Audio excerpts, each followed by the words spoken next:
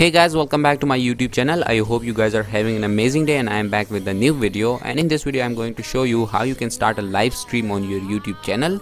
But before we start the video guys please take a moment and make sure to subscribe the channel and do follow me on Instagram. I'll have the link in description below. Okay now let's jump to the video.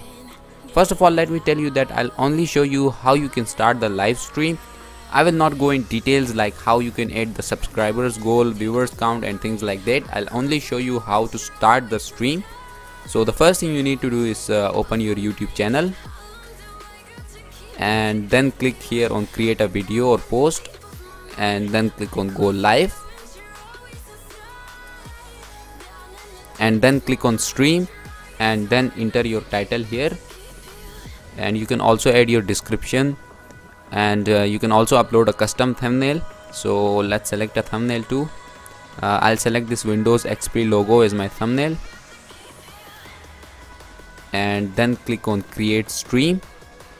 And the next thing you need to do is to copy this stream key. So click on copy. And you can see that successfully copied to clipboard.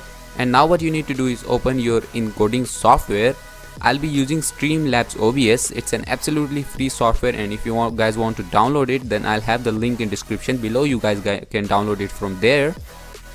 So let's open the software.